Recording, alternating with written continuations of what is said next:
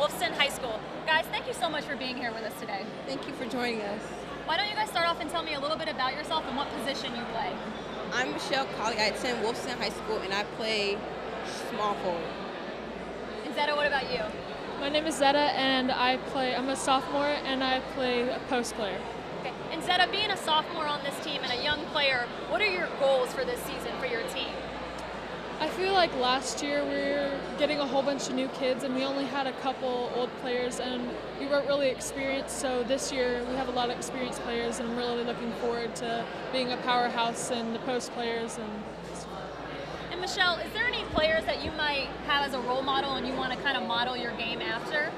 Um, not like specifically any players on the team, but I also do have like people that I do it for, like I work hard for, and I just want to like make our team as a cohesive unit.